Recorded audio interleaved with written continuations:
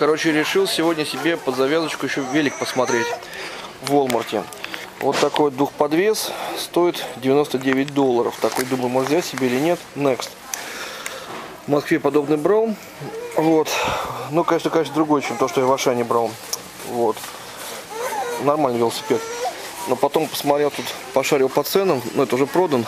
Посмотрите на красавчика. 149. Вот прям вообще реальный аппарат. Дисковыми тормозами. Двухподвес. В общем, серьезная машинка такая. Ну, главное ценник, зацените. 149 долларов. Ну, потом можете посмотреть, сколько вот такой бы в Москве стоил. Алюминиевый.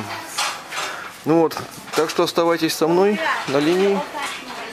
И вас ждет много интересного.